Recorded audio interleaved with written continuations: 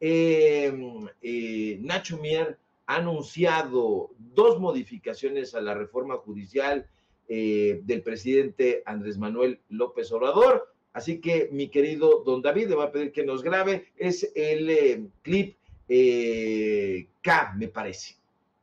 Modificaciones a la iniciativa en varios aspectos centrales que yo les puedo hoy anticipar. El primero es la conformación y nueva configuración de la Suprema Corte de Justicia de la Nación y la implementación de la modificación del procedimiento de designación de los integrantes, de tal manera que se garanticen dos cosas que han aparecido de manera reiterada como preocupación y propuesta en los foros.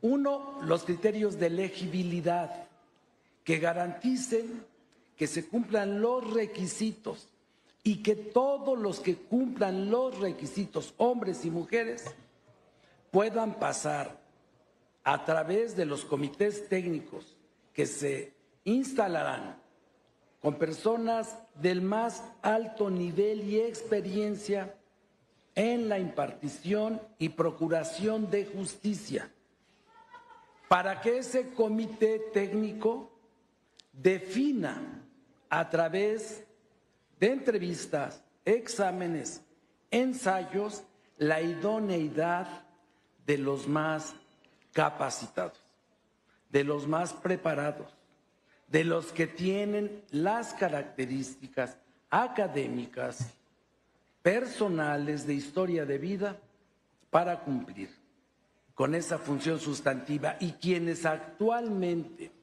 estén puedan participar igual. Segundo, la gradualidad y el escalonamiento para hacer el procedimiento de selección democrática.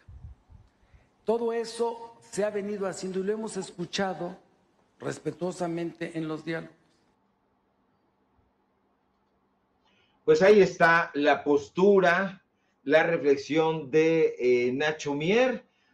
Esto no solamente se está discutiendo en la Cámara de Senadores, en la Cámara de Diputados, en las mesas de información y en las mesas de desinformación.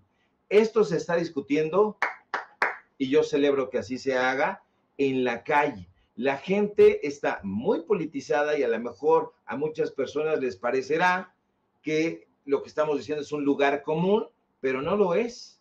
Es un acierto y ha venido de la mano con esta etapa de democratización que está viviendo, que está experimentando el pueblo de México. Lo está haciendo muy bien, la gente está respondiendo, se está informando, está participando y estas consultas se tendrían que llevar a cabo entre toda la gente, no solamente, y estas, estas consultas y estas discusiones se deberían de llevar a cabo también en foros ciudadanos, auténticamente ciudadanos quiero decir, no esas organizaciones de la mal llamada sociedad civil, en donde sabemos perfectamente que opera Claudio X González y sus secuaces, no, de la auténtica sociedad civil, del pueblo de a pie.